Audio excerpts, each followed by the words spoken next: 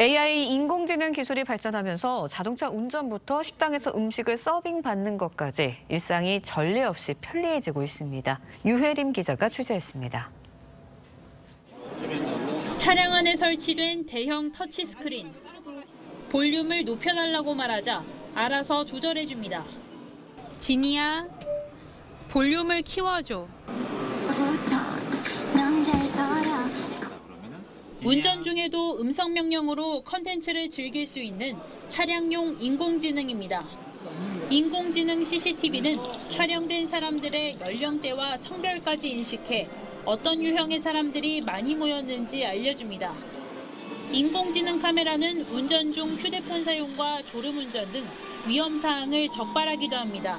실제로 이렇게 제품들이 나온 걸 보니까 엄청 인공지능이 많이 발전했다는 것을 느꼈습니다.